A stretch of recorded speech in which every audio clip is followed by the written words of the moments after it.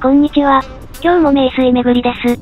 前回までのシリーズ1と2の、名水巡りは肌の盆地流水群の、中でも名の知れた水汲み場に、行きましたが、今回は地元に愛されている水汲み場を、訪ねました。多分水源は同じだろうと、思いますが、微妙な違いが楽しめるかもしれません。